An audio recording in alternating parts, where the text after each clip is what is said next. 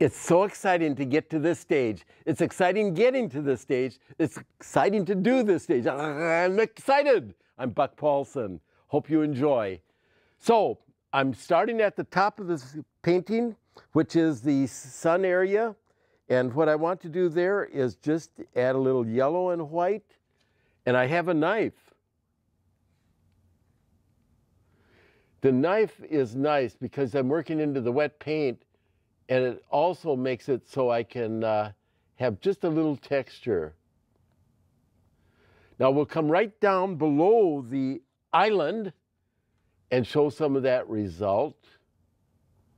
Just the path of the sun. It's so effective. Each thing you do on this, it looks so good. And then I'll take the same path. Now I have a little yellow ochre and white.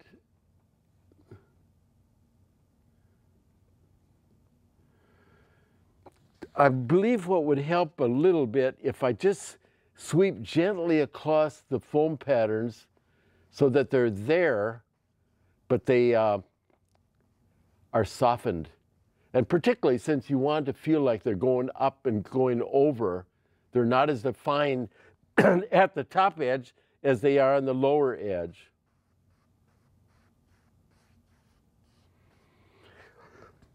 Okay, now in the big a wave. I have a mop brush. I like you.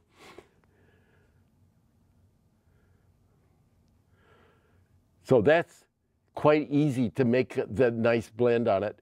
And then I'll also uh, consider the same thing, song thing, is uh, putting some highlight on there. But before I do that, I'm going to take a little bit of blue and white. And if I put this on, it looks like moving water. You see the water inside the, the foam. Doesn't take much. Okay, now let's go with the light on there. It's the same light that is already there. I'm taking off the here, but it's now quantity. Let's put just a little more white in it. And along with the idea of the straight path, we make sure that that's there. See the impact of that?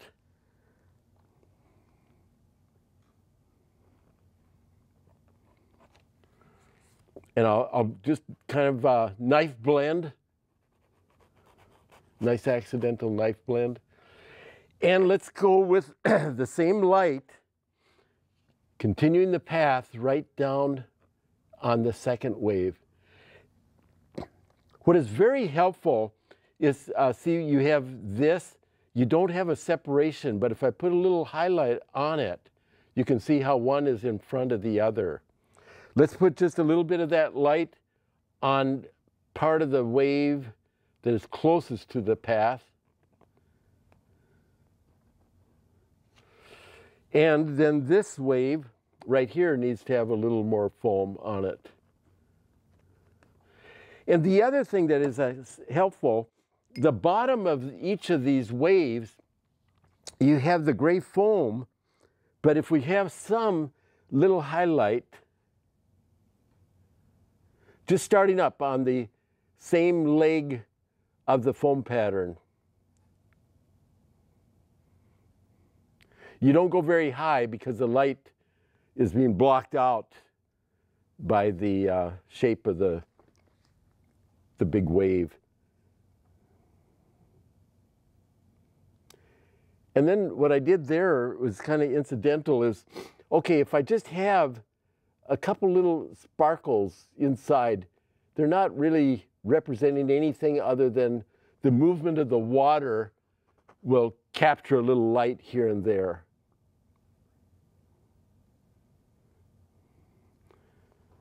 Okay, I need to come over on the rock.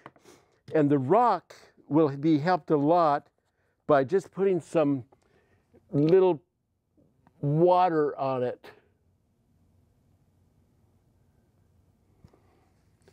And then let it, let it drop off.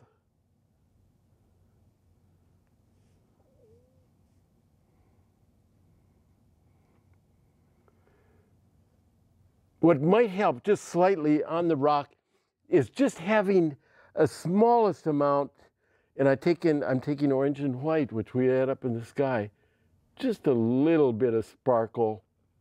And I can put a little bit of that same sparkle on the gray, the bluish gray here. So this is the ochre and white, and let some of that come down.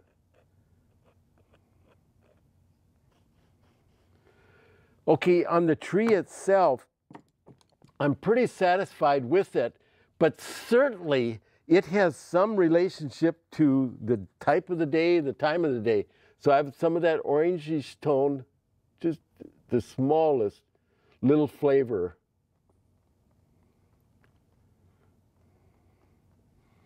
I'm, I'm taking a finger and just softening that a little bit so I don't come up there and stop. I think that's pretty good. There is one spot that would be helped, it'd be right in here. This is so important, it's next to the big wave, so it needs to have just a little character in it. I'm using the Viridian green that.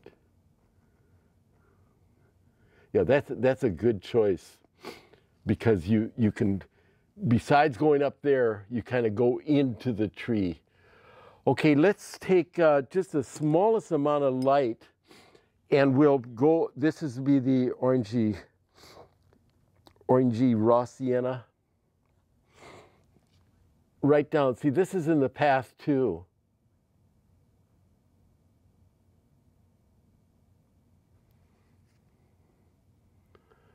I don't want this to interfere with anything, so I'm just softening that a little bit. So that comes down. You might find that the tree, you don't want a lot of accent on it, but I'm going to put just a little bit of character on that. Let's see, I have some blue, ultramarine blue. Yeah, I, I think that's just necessary.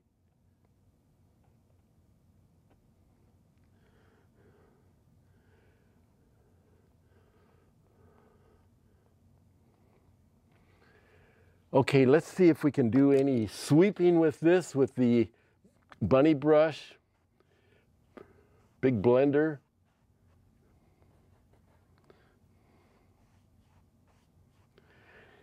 that gives me a little idea out there. I, I want to have this go out just a little bit. So what I'm doing this for is to separate the sky from the land.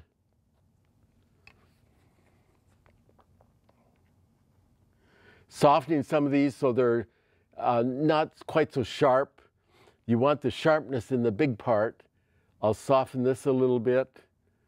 And I think we have a pretty good little seascape.